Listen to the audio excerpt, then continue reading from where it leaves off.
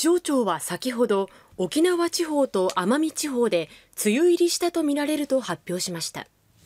5月下旬以降の梅雨入りはいずれも6年ぶりの遅さです。前線が停滞している影響で沖縄の宮古空港では猛烈な雨を観測し1時間に降った雨の量が観測史上最大となる100ミリを記録しました。沖縄や奄美はこの先も曇りや雨の日が多くなると予想されることから気象庁は21日午前11時に沖縄地方と奄美地方で梅雨入りしたとみられると発表しました。5月下旬以降の梅雨入りはともに6年ぶりの遅さとなります。明日22日の朝にかけて降る雨の量は沖縄で180ミリ奄美で100ミリと予想されています。